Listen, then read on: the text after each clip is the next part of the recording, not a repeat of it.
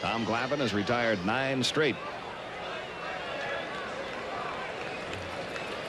And there is career base hit number 1,000 for Mookie Wilson. So in the same game, Dwight Gooden records his 1,000th career strikeout.